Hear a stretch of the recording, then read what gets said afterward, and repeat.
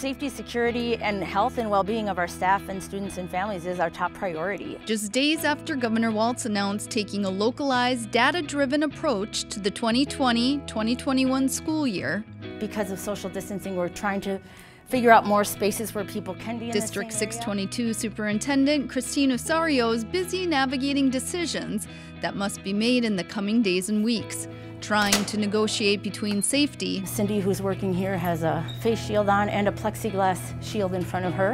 And the need for students to return to the classroom. There's a lot of students who benefit best from being in person with their teachers in their classes but we have to really balance that with the risk of, of infection. Osorio says data from the state and the recommendation from the Department of Education indicates elementary students come back full-time in person, while secondary students return to a hybrid model.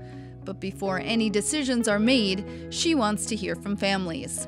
What we're doing right now is a survey just went out again to our families just to make sure how do the families feel about that recommendation? Because if our families tell us, you know, we're not comfortable sending our students back, uh, even if we have all these sanitizing measures and masks for everybody and whatnot, we need to know that so that we can adjust our plan. Osorio says distance learning schools moved to in March had challenges, including some students without a computer or internet.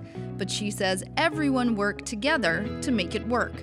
And surveys from high school students, parents, teachers, and staff indicate overall satisfaction. I just feel really um, blessed to be a part of this school district. We've had teachers come to the house, ride by the house, you know, drop materials off to keep that connection with the kids. District 622 includes students from Washington and Ramsey County, and with 57 different languages spoken in the district, Osorio is accustomed to unique challenges. Have a good day. See you later.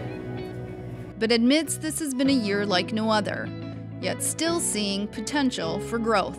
Never in my wildest dreams could I have imagined a year like this, but um, I will tell you, uh, great, I always tell my principals, great leadership um, comes out of the most difficult and trying times.